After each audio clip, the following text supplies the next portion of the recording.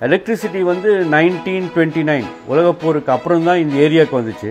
But அதுக்கு முன்னாடியே electricity இல்லாத ஒரு ரெஃப்ரிஜிரேட்டர் அது எப்படி எலக்ட்ரிசிட்டி இல்லாமல் ஃப்ரிட்ஜ் ஒர்க் பண்ணுன்னு பார்த்தீங்கன்னா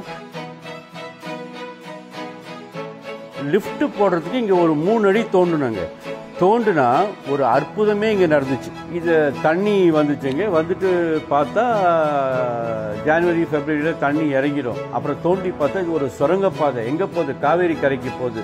மன்னர்கள் இங்கே வந்திருக்கணும். சோழ நாட்டு மன்னர்கள் வந்து யாருக்கும் தெரியாமல் வந்துட்டு போவாங்க. இன்றைக்கும் அந்த சுரங்கப்பாதை இன்டாக்டாக இருக்கு. ஏன்னா கல்லில் சைடில் கட்டியிருக்காங்க. தரையும் கல் ஒரு ஆறு அடி உயரம் இருக்கும். காவேரியில் தண்ணி இறங்கிடுச்சுன்னா இங்கே ஃபுல்லாக தண்ணி வராது. நம்ம நடந்து போகலாம்.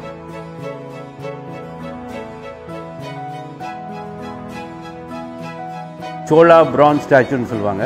இந்த சிலை வந்து ஒரு சாதாரண சிலை இல்லை. இது வந்து அர்த்தநாரீஸ்வரா. பாதி சிவன் பாதி பார்வதி. சிவனை வந்து பிரான்ஸ்ல பண்ணியிருக்காரு. சக்தியை வந்து காப்பர்ல பண்ணியிருக்காரு. அது சாஃப்ட் மெட்டல் அதனால தான் இது மஞ்சள் கலர்ல இருக்கும் இது சிவப்பு கலர்ல இருக்கும். இந்த ரெண்டு மெட்டலையும் உருக்கி ஒரு மோல்டு உள்ள போட்டு பண்ணணும். அதை பண்ணும்போது அது கரெக்டாக பாதியில் வந்து நிற்கணும் அது. பதினேழு தடவை அவர் ஃபெயில் ஆகி பதினெட்டாவது தடவை கரெக்டாக வந்திருக்கு. ஆனால் இதுக்கு இருபத்தி மூணு வருஷம் ஆயிருக்கு. இதோட வெயிட் என்னவா இருக்கும்னு நினைக்கிறீங்க? மூன்றரை டன்.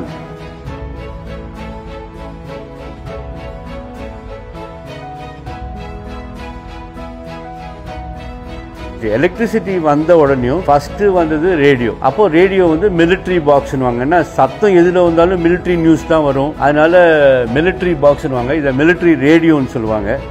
இந்த மிலிட்ரி ரேடியோ எடுத்துட்டிங்கன்னா அது எக்டான்னு ஒரு கம்பெனி ஒரு ஜெர்மன் கம்பெனியோட மெஷின் ஆனால் அது மிலிட்ரி ரேடியோன்னு சொல்லி ப இதாகிடுச்சு இதுவும் சிம்பிள் மிஷின் தான். அது பாருங்கள் அதுவும் இன்னைக்கு வேலை செய்கிற அளவில் தான் இருக்குது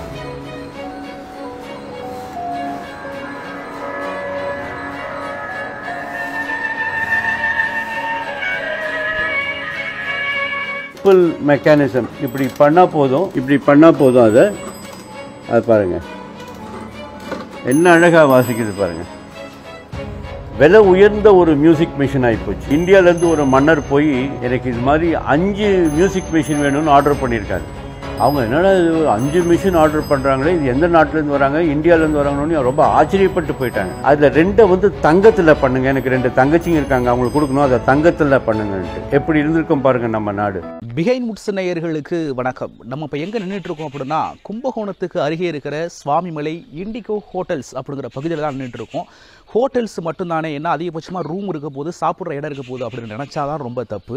உள்ள அமேசிங்கான பிளேசஸ் நிறையவே இருக்குது மூன்று கிராமங்கள் உள்ளே இருக்குன்னா பார்த்துக்குங்களேன். காந்திஜி பயன்படுத்தின அந்த காரு செயற்கையாக மழை வர அந்த பகுதி நேதாஜி சுபாஷ் சந்திர போஸ் இருந்த சிறை அப்படின்னு நிறைய அமேசிங்கான பிளேசஸ் உள்ளே இருக்குது அதை தான் இன்றைக்கி நம்ம ஒன்று ஒன்றா எக்ஸ்பிளைன் பண்ண போகிறாங்க அதோட எம்டி நம்ம உள்ளே போய் நம்ம என்ன என்னென்ன இருக்குது அப்படின்னு பார்த்து தெரிஞ்சுக்கலாம். வாங்க. சார். வாங்க வாங்க வாங்க. வணக்கம். வணக்கம் வணக்கம். சார் தான் இண்டிகே ஹோட்டல்ஸோட எம்டி ஸ்டீவ் போர்கியா அவர்கள். நம்ம வந்து சாரை வந்து கேள்விகளை வந்து அதிகமாக கேட்க போகிறதில்ல ஃபுல் அண்ட் ஃபுல் இங்கே இருக்கிற அமேசிங் பிளேசஸ் பற்றி சார் தான் எக்ஸ்பிளைன் பண்ண போகிறாங்க வாங்க ஒன்று ஒன்றா கேட்டு தெரிஞ்சுக்குவோம். இந்த உங்களுக்கு வந்து இது ஒரு ஹோட்டல் உலகத்துக்கும் இது ஒரு ஹோட்டல் ஒரு குக் கிராமத்தில் கட்டப்பட்ட ஒரு ஹோட்டல் ஆனால் எங்களுக்கு வந்து இது ஒரு இந்த சுற்றுப்புறம் இருக்கிற கிராமங்களில் அவங்களுக்கு ஒரு வாய்ப்பு கொடுத்து இந்த இந்த பகுதியை மாற்றுறதுக்கு உருவாக்கப்பட்ட ஒரு நிறுவனம் இது.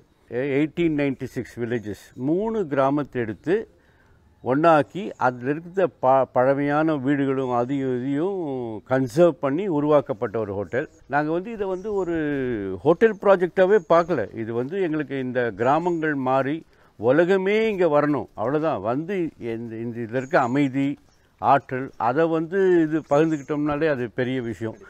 ஹோட்டல்னு ஆரம்பித்தோம் ஆரம்பித்த பிறகு வெறும் ஹோட்டலில் வச்சா சரி வராது. சுற்றுப்புறத்தையும் பார்த்துக்கணும்.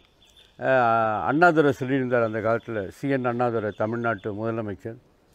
பெரிய அறிவாளி. இது வரைக்கும் ஐநாவில் கூட அது மாதிரி ஒரு கான்செப்டை யாரும் உருவாக்குனதில்லை. அவர் சொன்னார் கிராமங்களுக்கு மறுமலர்ச்சி வேணும் முன்னேறணும்னா கிராமத்துக்கு போங்க. அவங்களுக்கு என்ன தெரியுமோ அங்கே ஆரம்பிங்க அவங்க கிட்ட என்ன இருக்கோ அதை வச்சு ஏதாவது பண்ணுங்க. இப்படி ஒரு ஹோட்டல் உருவாக்கணும்னா பழமையை பாதுகாக்கிறது மட்டும் இல்லை அதை ஒரு மியூசியமாகவும் அமைக்கணும். ஸோ நிறைய இங்கே பார்த்தீங்கன்னா எங்கே பார்த்தாலும் ஃபார் இன்ஸ்டன்ஸ் இந்த கார் எடுத்துக்கங்க. இது வந்து கடைசி கிரைஸ்லருன்ற கடைசி காரு பிளைமத்துன்ற கம்பெனி அதுக்கு முன்னாடி கிரைஸ்லராக இருந்துச்சு. இப்போ இந்த காரோட புதுமை என்னென்னா இது ஒரு சாதாரண கார் இல்லை. ஒரு ஃபோட்டோ கூட அங்கே இருக்குது அது க்ளோஸ்அப்பாக பார்த்தீங்கன்னா தெரியும். காந்திஜி வந்து காந்தி கிராமுக்கு போகிறதுக்கு திண்டுக்கலுக்கு வந்திருக்கார். அவரை திண்டுக்கல்லேருந்து காந்தி கிராமத்துக்கு கூட்டிகிட்டு போன காருங்களில் இந்த காரும் ஒன்று இது கிரைஸ்லர்னு பேச பேசுகிறாங்க இது சக்கரம்லாம் பார்த்திங்கன்னா மரத்தால் பட்டப்பட்ட சக்கரம். இது அழகாக பாதுகாத்து வச்சுருக்கோம். அதுதான் ஸ்டீஃபன் காய்லர்னு ஒருத்தர் வந்தார் லண்டனில். அவர் சொன்னார் இது ராணிக்கிட்ட இங்கிலாந்து ராணிக்கிட்ட கூட இது மாதிரி ஒரு கார் இருக்குது ஆனால் அதை இவ்வளோ அழகாக பராமரித்து வைக்கல. ரொம்ப அழகாக வச்சுருக்கீங்கன்னு சொன்னாங்க. இப்போ இந்த பில்டிங் எடுத்துக்கங்க. இது இங்கேருந்து பில்டிங் கிடையாது. மெட்ராஸில் சென்ட்ரல் ஸ்டேஷன் பக்கத்தில் மின்ட் ஸ்ட்ரீட்டுன்னு ஒன்று இருக்குது எல்லாருக்கும் தெரியும். அப்படியே போனீங்கன்னா ஸ்டான்லி மெடிக்கல் காலேஜ் போவீங்க. அந்த மின்ட் ஸ்ட்ரீட்டில் அது இந்த பில்டிங்கில் ஆல உருவாக்கப்பட்டது. இது பேர் வந்து மின்ட் பேலஸ் மின்ட் பேலஸ் இது வந்து செவன்டீன் செஞ்சுரியில் ஷேகாவட்டி பன்சிலால்னு ஒருத்தரை வெள்ளையர்கள் இங்கே வந்த புதுசில் ஈஸ்ட் இந்தியா கம்பெனி அவரை கொண்டு வந்து தங்க காயின் மின்ட் பண்ணுறதுக்கு அவரை இங்கே வச்சுருந்தாங்க. அவர் வந்து நான் இந்த மெட்ராஸ் வீட்டில் ஓடு வீட்டில் இருக்க மாட்டேன். ராஜஸ்தான்லேருந்தே நான் கல்லை வடிவமைச்சு கொண்டு வந்துட்டு இங்கே வந்து நான் ஒரு வீடு கட்டிக்குவேன்னு சொல்லிட்டு இங்கே வந்து இந்த மின்ட் பேலஸை கட்டுறாருங்க.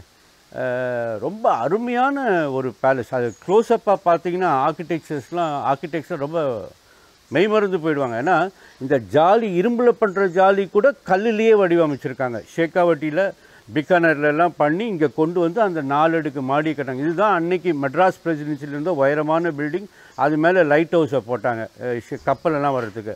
அதை வந்து அரசாங்கம் வந்து அந்த ரோடை விரிவிக்கிறதுக்கு அதை உடைக்க உடைச்சாங்க. அதை நிறுத்தி அந்த பில்டிங்கை வாங்கி நாங்கள் கல்லுக்கல்லாக பிரித்து நம்பர் போட்டு அதை பிரித்து இங்கே கொண்டு வந்து திருப்பி இவ்வளோ அழகாக அதை கட்டிட்டோம். இதை கட்ட எங்களுக்கு கிட்டத்தட்ட ஒரு நாலு வருஷம் ஆச்சு. அவுத்து பிரித்து இதில் நிறைய பிள்ளைங்கள் இன்வால்வ் ஆகிருந்தாங்க ஒரு இடத்துல ஒரு டேமேஜ் இல்லை. அங்கே எப்படி இருந்துச்சோ அதே மாதிரி கொண்டு வந்திருக்கோம். இந்த பில்டிங்கில் இன்னொரு அழகு என்னென்னா இதுக்கு அஸ்திவாரமும் கிடையாது. கல் ஒரு மேலே அப்படி உக்காந்துட்டுருக்கு அதில் சிமெண்ட்டும் கிடையாது. அதை கொண்டு வந்து இங்கே கட்டிட்டோம். கட்டிட்டு வரவங்களுக்கெல்லாம் இது ஒரு புதுமையாக இருக்கும். ஆனால் அந்த காலத்து இது ஒன்றும் பெரிய விஷயம் இல்லை. உள்ள ட்ரைனேஜ் சிஸ்டம் அது இது பர்ஃபெக்ட் நாங்களே நிறைய கற்றுக்கிட்டோம் இங்கே பார்த்தீங்கன்னா இதில் சிமெண்ட்டெல்லாம் இருக்காது. கல் மேலே கல் உக்காந்துக்கிட்டு இருக்கு. அந்த ஃப்ரிக்ஷனில் இருக்குது ரொம்ப அழகான ஒரு கருத்து. லிஃப்ட்டு போடுறதுக்கு இங்கே ஒரு மூணு அடி தோண்டுனாங்க. தோண்டுனா ஒரு அற்புதமே இங்கே நடந்துச்சு. அவ்வளோ ஒரு அற்புதமான ஒரு விஷயம். இதை பார்த்தீங்கன்னா மூணு அடி தோண்டிட்டு இதை வந்து பார்த்தா திடீர்னு தண்ணி அடிக்க ஆரம்பிச்சிருச்சு ஒரு பக்கத்துல இருந்து. இது தண்ணி வந்துச்சுங்க. வந்துட்டு பார்த்தா ஜனவரி ஃபெப்ரவரியில் தண்ணி இறங்கிடும் அப்புறம் தோண்டி பார்த்தா இது ஒரு சுரங்கப்பாதை. எங்கே போகுது? காவேரி கரைக்கு போகுது. எதனால இங்கே ஒரு சுரங்கப்பாதை? எதனால இந்த ஊருக்கு வந்துச்சுன்னு பார்த்தா கடைசியில் இந்த எழுத்தாப்பில் இருக்க ஊர் பேர் திம்மர்குடி. திம்மர்குடி. அப்புறம் தான் எனக்கு ஓ திம்மர்கள் வாழ்ந்த இடம். திம்மர்னா யார்? இரும்பில் கத்தி கப்படெல்லாம் பண்ணுறவங்க இரும்பில் வேலை செய்கிறவங்க பேர் தான் திம்மர். ஸோ அவங்க இங்கே வேலை செஞ்சுருக்காங்க. யார் வந்திருப்பா? அன்லஸ் மன்னர்கள் இங்கே வந்திருக்கணும். சோழ நாட்டு மன்னர்கள் வந்து யாருக்கும் தெரியாமல் வந்துட்டு போவாங்க. இன்றைக்கி நியூக்ளியர் பிளான்ட்டெல்லாம் எப்படி நம்ம சீக்கிரட்டாக வச்சுருக்கோம்? வே வேறு நாட்டுக்காரனுக்கு தெரிஞ்சால் வந்து பாம்பு போட்டுருவான்னு சீக்கிரம் வச்சுருக்கோம். அது மாதிரி. வந்து பார்த்துட்டு போவாங்க போல். அதனால இங்கே ஒரு சுரங்கப்பாதை. இன்றைக்கும் அந்த சுரங்கப்பாதை இன்டாக்டாக இருக்கு. ஏன்னா கல்லில் சைடில் கட்டியிருக்காங்க. தரையும் கல் ஒரு ஆறு அடி உயரம் இருக்கும். காவிரியில் தண்ணி இறங்கிடுச்சுன்னா இங்கே ஃபுல்லாக தண்ணி வராது நம்ம நடந்து போகலாம் நாங்கள் ரோடு வரைக்கும் எக்ஸ்கவேட் பண்ணியிருக்கோம். அதுக்கப்புறம் அரசாங்க பர்மிஷன் வந்துட்டு அதோடு நிறுத்தி வச்சுருக்கோம். எங்கே தோண்டுனாலும் அழகழகாக கத்தி கப்பட விதவிதமான பழைய காலத்து பொருட்கள் கிடைக்கும். இது இது மாதிரி கத்திகள். பாருங்கள் இது மாதிரி கத்தி கிடைக்கும். ஆனால் எல்லாத்துக்கும் காப்பர் பேஸில் இருக்கும். இதெல்லாம் வந்து தௌசண்ட் த்ரீ ஹண்ட்ரட் இயர்ஸ் ஆயிரத்தி முந்நூறு வருஷம் சல்ஃபர் டெஸ்ட்லாம் பண்ணியிருக்கோம். இதுதான் சோழா பிச்சுவான்னு சொல்லுவாங்க. சோழர் வந்து மற்ற சோல்ஜர்ஸ் மாதிரி முன்னாடி கவசம் போட மாட்டாங்க. கவசத்தை பின்னாடி தான் கட்டுவாங்க. ஆனால் கத்தி இந்த கத்தி கையில் இருக்கும் இந்த பிச்சுவா இங்கே இருக்கும். சண்டை போட்டுட்ருப்பாங்க அப்ராப்ரியேட் டைமில் பிச்சுவாவை உள்ளே பண்ணிருப்பாங்க. அது அவங்களோட ஸ்டைல் அது. அப்புறம் மற்றபடி நான் சொன்னல எங்கே தோணுனாலும் எதாவது கிடைக்குது பாருங்கள் இது என்னன்னு நினைக்கிறீங்க இது? இந்த காலத்தில் இது என்னென்னு கேட்டால் மாஸ்க்குன்னு வாங்க. கொரோனா மாஸ்க்குன்னு தான் எல்லாம் சொல்லுவாங்க. ஆனால் இது வந்து மசில் ப்ரொடெக்ட் பண்ணுறதுக்கு ஒரு ஆர்மமெண்ட். அது அப்படியே லாக் ஆகிடும் அது கட்டெல்லாம் வேணாம். ஸோ இது மாதிரி தான் இங்கே தயாரிச்சுட்டு இருந்திருக்காங்க திம்மர்கள் ஸோ பக்கத்து ஊரில் பாபுராஜபுரம். பாபுராஜபுரத்தில் தான் சோழ நாட்டு அரண்மனையில் டான்ஸ் ஆடிட்டு இருந்த ஆந்திர பிரதேசை சேர்ந்த டான்ஸருங்க ரிட்டையர் ஆனாங்க. அவங்க வந்து சின்ன சின்ன மெழுகில் பொம்மை பண்ணி விற்றுட்டு இருந்தாங்க. இந்த திமர்கள் அங்கே போய் நீங்கள் பண்ணுற மெழுகில் பண்ணுற பொம்மையை நாங்கள் மோல்டு போட்டு ஏன்னா இவங்களுக்கு மோல்டு பண்ண இரும்பை உருக்கி பண்ணுற வேலை தெரியும்ல. மோல்டு போட்டு நாங்கள் எடுத்து கொடுக்குறோம் சேர்த்து வைக்கலான்ட்டு ஒத்துக்கிறாங்க பண்ண ஆரம்பிக்கிறாங்க. ஆனால் இரும்பில் பண்ணுறாங்க சின்ன சின்ன சாமிகள் இதோ இது மாதிரி. கொஞ்ச நாள் அந்த இரும்பு சிலைலாம் துரு பிடிச்சி போயிடும் ஸோ இரும்பில் பண்ணுறதை விட்டுட்டு பிரான்ஸில் பண்ணுறாங்க செம்பு பிரான்ஸு செம்பு துரு பிடிக்காத மெட்டலில் அப்படி தான் இன்றைக்கி சுவாமிமலை வந்து உலக அளவில் எங்கே கோயில் கட்டினாலும் விக்கிரகத்தை வாங்க சுவாமிமலையில் வருவாங்க. இது மாதிரி பிரான்ஸ் ஸ்டாச்சுஸ் சோழா பிரான்ஸ் ஸ்டாச்சுன்னு சொல்லுவாங்க. இந்த சிலை வந்து ஒரு சாதாரண சிலை இல்லை இது வந்து அர்த்தநாரீஸ்வரா பாதி சிவன் பாதி பார்வதி. இந்த ஸ்கல்ப்டர் என்ன பண்ணியிருக்காரு ரொம்ப சிறந்த வகையில் சிவனை வந்து பிரான்ஸில் பண்ணியிருக்காரு சக்தியை வந்து காப்பரில் பண்ணியிருக்காரு அது சாஃப்ட் மெட்டல் அதனால தான் இது மஞ்சள் கலரில் இருக்கும் இது சிவப்பு கலரில் இருக்கும். வித்தியாசமான ரெண்டு மெட்டல். இந்த ரெண்டு மெட்டலையும் உருக்கி ஒரு மோல்டு உள்ளே போட்டு பண்ணணும். அதை பண்ணும்போது அது கரெக்டாக பாதியில் வந்து நிற்கணும் அது. கரெக்டாக பாதியில் வரணும். அப்படி வரலன்னா திருப்பி இதை அடிச்சுட்டு திருப்பி மெழுகலை பண்ணி திருப்பி அதுக்கு மோல்டு எடுத்து திருப்பி அதை இது ஊற்றி எடுப்பாங்க. இது வந்து பதினேழு தடவை அவர் ஃபெயில் ஆகி பதினெட்டாவது தடவை கரெக்டாக வந்திருக்கு. ஆனால் இதுக்கு இருபத்தி மூணு வருஷம் ஆயிருக்கு. அது ஒரு சிறப்பு சிறப்பு இதுக்கு. ரெண்டாவது இது வந்து ஒரு சாதாரண சிலை இல்லை. இதோட வெயிட் என்னவா இருக்கும்னு நினைக்கிறீங்க? மூன்றரை டன். நம்ம பஸ்ஸு ஓடுதில்ல மெட்ராஸில்?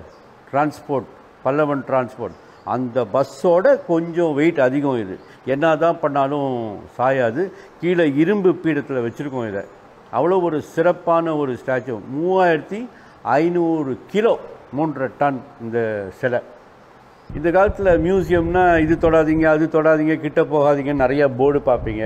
இங்கே வந்து கெஸ்ட்டு வந்து தொடணுங்க. தொடட்டி அதை தொட்டு அதை ஃபீல் பண்ணணும். அதை மெட்டல்னா மெட்டல்னா என்ன இது கட்டைனா என்ன இது என்னன்ட்டு. ஸோ அங்கங்கே இது மாதிரி விளையாட்டு பொருட்கள் வச்சுருப்போம். பழைய காலத்து விளையாட்டு பொருட்கள். இது எடுத்திங்கன்னா இது வந்து பல்லாங்குழின்னு சொல்லுவோம் அந்த காலத்தில். எல்லா வீட்லேயும் இருக்கும். நாங்களாம் சின்ன விளையாண்டுருக்கோம். இது மாதிரி வச்சுட்டு ஒன்று ரெண்டு மூணுன்னு போட்டுட்டு போவோம். காலியாக இருந்துச்சுன்னா தடவி எடுத்துக்குவோம். யார் ஜெயிக்கிறா யார் தோற்கிறா? வழக்கமாக இதில் வந்து பேர பிள்ளைங்களும் தாத்தா பாட்டிங்களும் யார் வேணால் விளையாடலாம் அந்த விளையாட்டை. இது சும்மா விளையாட்டு கிடையாது. இந்த காலத்தில் எடுத்திங்கன்னா குழந்தைங்கள்லாம் இந்த விளையாண்டுறாங்கன்னா அவங்களுக்கு இந்த மோட்டர் டெவலப்மெண்ட் இன்றைக்கி நிறைய எக்ஸசைஸ் கொடுக்குறோம். அதெல்லாம் ஆட்டோமேட்டிக்காக வந்துடும் அது போடும் போது ஒன்று ரெண்டு மூணு நாலு அஞ்சு ஆறு ஏழு டக்கு டக்கு டக்குன்னு ஒன்று ரெண்டு கற்றுக்கிறது அந்த டிசிப்ளின் அதை ஒன்று ஒன்றா போடுறது ஃபிங்கர் மூமெண்ட் அதெல்லாம் ரொம்ப அழகாக இருக்கும். அன்றைக்கி ஒரு பாட்டி தாத்தா வந்திருந்தாங்க. அந்த பாட்டியம்மா சொன்னாங்க இருபத்தி மூணு வருஷத்தில் இன்றைக்கி தான் முதல் தடவை என்னோட பேத்தி என்கிட்ட கேட்குறா இது என்னன்ட்டு. நான் அவங்களுக்கு எக்ஸ்பிளைன் பண்ணுறாம நான் அவங்களுக்கு கற்றுக் கொடுக்குற ஒரு சூழ்நிலை இன்றைக்கி தான். இல்லைன்னா எல்லாமே நான் அவங்கக்கிட்ட கேட்டு தான் கற்றுக்க வேண்டியதாக இருக்குது மெட்ராஸில் அப்படின்னாங்க.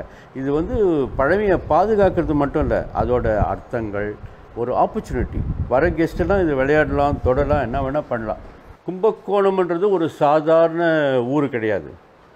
ஆக்ஸ்ஃபோர்ட் டிக்ஷனரியில் ஒரு காலத்தில் கும்பகோணம்னு பார்த்தீங்கன்னா ஃப்ராட் அப்படின்னு இருக்கும். அது வேறு விதமான அர்த்தம். ஃப்ராட்னால் இந்த திருட்டு ஃப்ராட் கிடையாது. இங்கே வந்து இருந்த பிராமின்ஸ் ஹிந்துஸ் முஸ்லீம்ஸ்லாம் ரொம்ப அறிவாளிகளாக இருந்தாங்க. ராமானுஜம் இந்த ஊர் தான். பெரிய கணக்கு மேதை. ஸோ அது மாதிரி நிறையா ஆடிட்டருங்க லாயருங்க அது மாதிரி பெரிய பெரிய மேதைகள் வாழ்ந்த ஊர். இங்கே பார்த்தீங்கன்னா இதுதான் கும்பகோணத்து விளக்கு. பட் எல்லா நாட்டு விளக்கும் இங்கே இருக்கும். டச்சு ஃப்ரெஞ்சு சைனீஸு ஸோ அவங்க எல்லாம் வேலை செஞ்ச ஊர் இந்த கும்பகோணம். ஸோ நிறைய ஃபாரினர்ஸும் இங்கே இருந்தாங்க. எலக்ட்ரிசிட்டி வந்து நைன்டீன் டுவெண்ட்டி நைன் உலகப்போருக்கு அப்புறம் தான் இந்த ஏரியாவுக்கு வந்துச்சு. பட் அதுக்கு முன்னாடியே எலக்ட்ரிசிட்டி இல்லாத ஒரு ரெஃப்ரிஜிரேட்டர் அது எப்படி எலக்ட்ரிசிட்டி இல்லாமல் ஃப்ரிட்ஜ் ஒர்க் பண்ணணுன்னு பார்த்தீங்கன்னா இது கெரசின் ஊற்றுவாங்க கெரசின் ஊற்றி லைட் எழுப்பி பின்னாடி ஃபயரில் ஒர்க் ஆகிற ஒரு ரெஃப்ரிஜிரேட்டர் அது மட்டும் இல்லை இது எடுத்துக்கோங்க. ஆனால் கரண்ட் இல்லை. ஆனால் மியூசிக் மிஷின்லாம் இருக்குது. சாதாரண மியூசிக் மிஷினில் இப்போ ஒரு பொதுமக்கள் இன்றைக்கி கேட்டிங்கன்னா உங்களுக்கு தெரிஞ்ச பழைய காலத்து மியூசிக் பிளேயர் என்னன்னு கேட்டிங்கன்னா கிராமஃபோன் சொல்லுவாங்க. இந்த கையில் சுற்றுற கிராமஃபோன் அழகாக சுற்றுவாங்க அது பாடும். அதுக்கு கரண்ட் தேவையில்லை. ஆனால் அது வர்றதுக்கு முப்பது வருஷத்துக்கு முன்னாடியே இந்த பேப்பர் பர்ஃபரேட்டட் பேப்பரில் ஓட்ட ஓட்டையாக இருக்கும் இங்கே இருக்குது அதில் பண்ணுற மியூசிக் மிஷின் இது முப்பது வருஷத்துக்கு முன்னாடி அது அது வர்றதுக்கு முப்பது வருஷத்துக்கு முன்னாடி இது பாருங்கள் ஆனால் இங்கே இருக்க எங்ககிட்ட இருக்கிற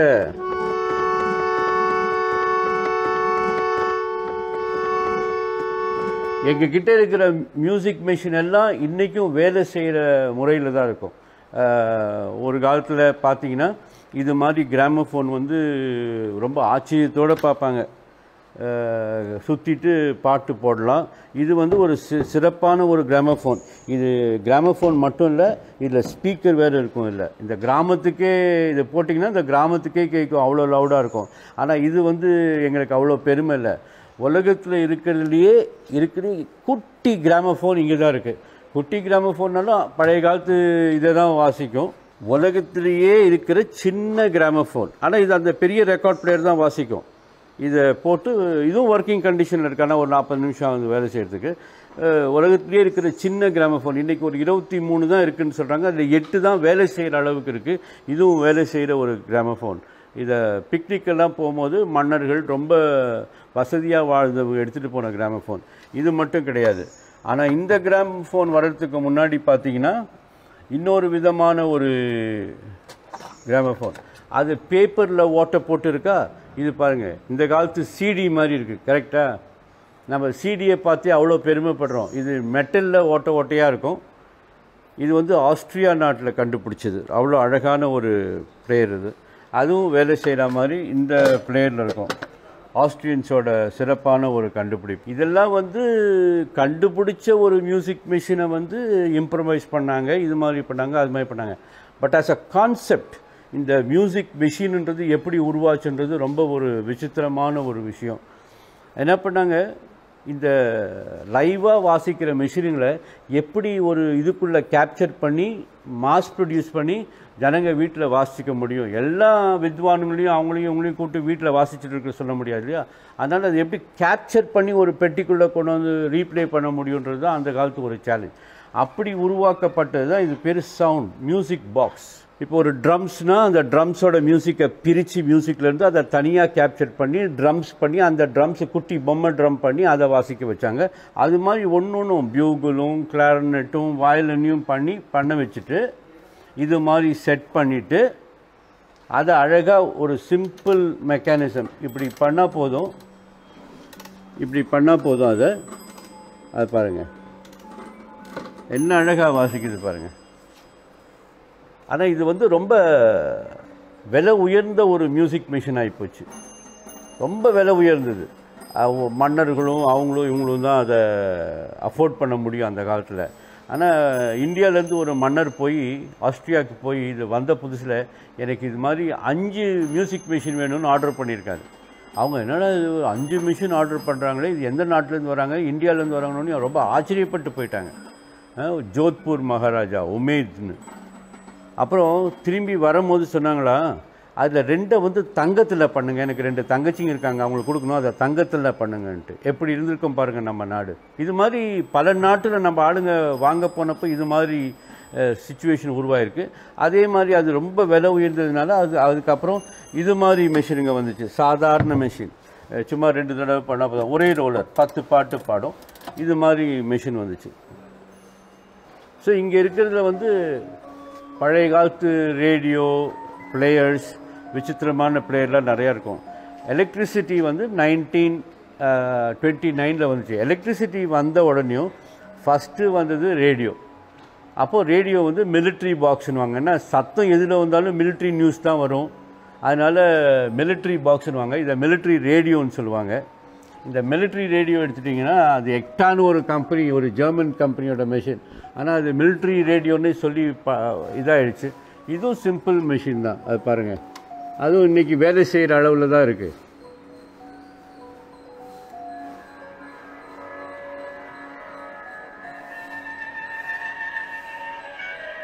இன்னைக்கு சேனல் எடுத்துட்டிங்கன்னா நூற்றுக்கணக்கான சேனல் இருக்குது டெலிவிஷனில் ரேடியோவில் ஆனால் அந்த காலத்தில் எங்களுக்கு ஒரே சேனல் தான். நான் சின்ன குழந்தையா இருக்கும்போது கூட ஒரே சேனல் தான் இது. ஆகாசவாணின்னுவாங்க. இதே மாதிரி தான் மியூசிக் இருக்கும். ஒரு நாளைக்கு நாலு மணி நேரம் தான் ரேடியோ ஆனாக இருக்கும். ரேடியோ ஆன் ஆன் ஆகிடுச்சுன்னா நாங்கள்லாம் டிவி பார்க்குற மாதிரி ரேடியோ இப்படி பார்த்து சவுண்ட் கேட்டுட்ருப்போம் அந்த நேரத்தில் நம்ம அம்மா வந்து கடைக்கு போயிட்டு வாங்கன்னு சொன்னாங்கன்னு கூட ரொம்ப மகிழ்ச்சியாக பையன் வாங்கிட்டு காசை வாங்கிட்டு கடைக்கு போவோம். ஏன்னா தெருவெல்லாம் இது ஒன்று தான் கேட்கும். வேறு எதுவும் கேட்காது. கடைக்கு போனால் அங்கேயும் இதுதான் கேட்கும். ஸோ உங்களுக்கு இன்டரப்ஷனே இருக்காது. ஒரே சேனல் இது வந்து அரசாங்கத்தால் பண்ணப்பட்ட ஒரு ரேடியோ சேனல் நடத்துவாங்க இதை. ப்ரைவேட்லாம் அப்போ கிடையாது. அதுக்கப்புறம் இங்கே இருக்கிறது நிறைய விசித்திரமான பொருட்கள் இருக்கும். ஆனால் எல்லாம் வேலை செய்யும். இதை மாடர்ன் ரேடியோன்னு சொல்லுவாங்க.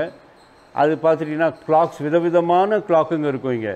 இந்த கிளாக் வந்து நெப்போலியன் போனபாட் கிளாக்குன்னு சொல்லுவாங்க. அந்த படத்தில் அவர் டேபிளில் இருக்கும் அது. இது வந்து தங்கத்தால் பண்ண ஒரு கூடு பாசுலன் டயல் ரொம்ப விலை உயர்ந்த ஒரு கிளாக்கு இது டுவல் மேட்டின்னு சொல்லுவாங்க. இது ரெண்டு விதமான சைம் இருக்கும் அதில். நான் உங்ககிட்ட சொன்னேன் இல்லையா? இது வந்து பயங்கர ஒரு வசதி உள்ள ஹிந்துஸுங்க வாழ்ந்த இடம் கும்பகோணம். இங்கே நிறைய மிஷினரி இங்கே வாழ்ந்தாங்க. டச்சு கிச்சு அவங்கெல்லாம். அவங்களுக்கு வந்து இங்கிலாந்து இளவரசி முந்நூறு ப்ரெஸ் இது மாதிரி முந்நூறு ப்ரெஸ் அனுப்பிச்சாங்க. ரொம்ப அழகான ப்ரெஸ்ஸு அவங்களோட symbol எல்லாம் இருக்கும் பாருங்கள் மேலே. முந்நூறு ப்ரெஸ் அனுப்பிச்சாங்க. இது வந்து அழகான ஆல்பியான் ப்ரெஸ்ஸுன்னுவாங்க ப்ரெஸ்ஸுன்னு உருவாக்கப்பட்ட முதல் ப்ரெஸ் பார்த்தீங்கன்னா ஒரு பில்டிங் மாதிரியே இருக்கும். ஸோ ரோம்லேருந்து ரோம் நாட்டிலேருந்து சாமியாருங்க வந்தாங்க. இட்டலி இட்டலி நாட்டிலேருந்து ரோமன் லாங்குவேஜ் தெரிஞ்சவங்க வந்து தமிழ் கற்றுக்கிட்டு பைபிளை டிரான்ஸ்லேட் பண்ணி தமிழ் பைபிளாக்கி இந்த ப்ரெஸ்ஸுங்களை யூஸ் பண்ணி பிரிண்ட் பண்ணாங்க. இந்த ப்ரெஸ்ஸு அச்சடித்த முதல் பாகங்கள்லாம் இங்கே இருக்குது பைபிள்.